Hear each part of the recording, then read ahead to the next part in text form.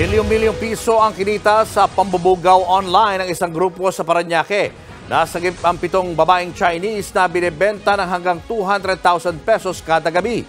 Nasa frontline na balitang yan si Dave Abuel. Walang takas ang Chinese na yan na nabistong sangkot sa human trafficking sa isang establishmento sa Paranaque.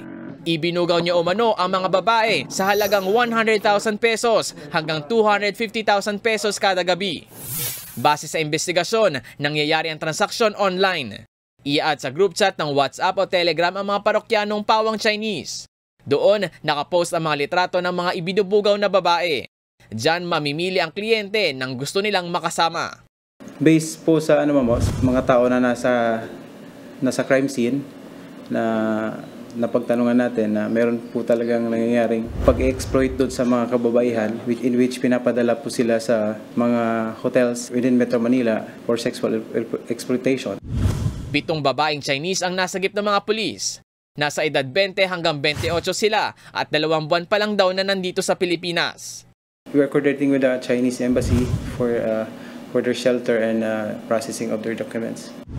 Nakumpiska rin ang perang aabot sa 32 million pesos, mga money counting machines, dalawang baril at mga bala.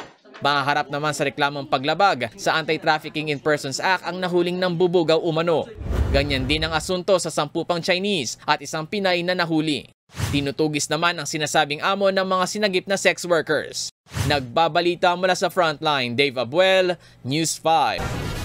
Mga kapatid, Cheryl Cosing po, huwag maging huli at maging una sa lahat para sa tuloy-tuloy na balitaan at karagdagang impormasyon sa mga napapanahong issue ng lipunan. Tumutok lamang at mag-subscribe sa social media pages ng News 5.